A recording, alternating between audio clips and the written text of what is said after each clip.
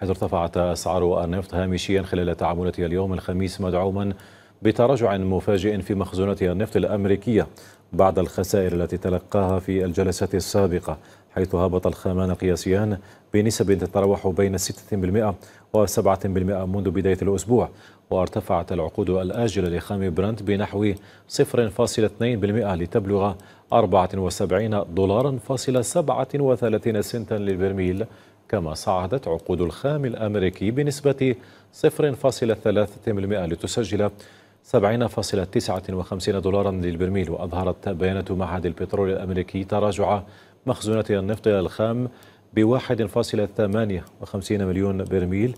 الأسبوع الماضي في حين تراجعت مخزونات البنزين ب 5.93 مليون برميل.